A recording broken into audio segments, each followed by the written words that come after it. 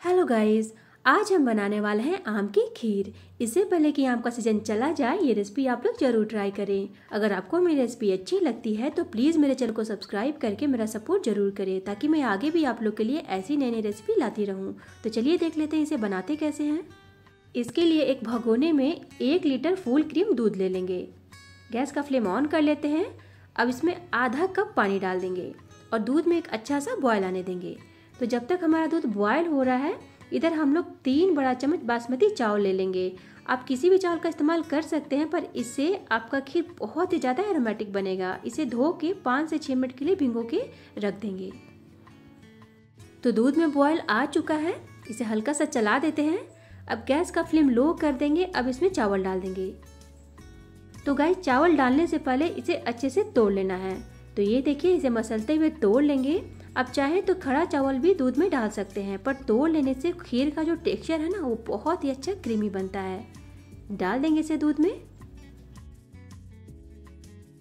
मिला देंगे चावल को अच्छे से। अब इसे लो फ्लेम पे 25 से 30 मिनट के लिए पका लेना है और इसे हर दो मिनट में चलाते हुए रहेंगे।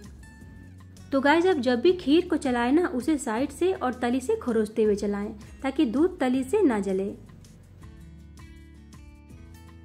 खीर को पकते हुए तीस मिनट हो चुका है, अब इसमें ड्राई फ्रूट्स ऐड कर देंगे।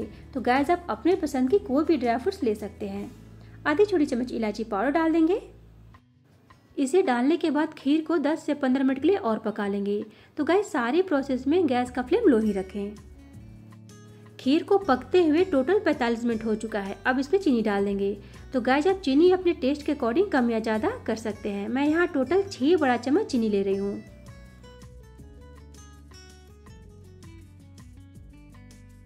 मिला देंगे चीनी को अच्छे से।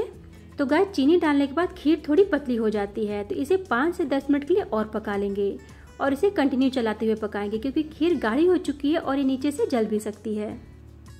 तो खीर बन के हमारा रेडी हो चुका है और इसे बनने में टोटल 55 मिनट लग चुका है। अब गैस का फ्लेम ऑफ़ कर देंगे और खीर को अच्छे से ठंडा कर लेंगे। खीर हमारा अच्छे से ठंडा हो चुका है, ये देखिए।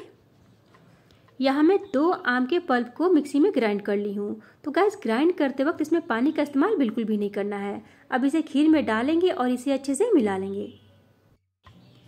आप इस खीर को फ्रिज में रख के दो से तीन दिनों तक इस्तेमाल कर सकते हैं।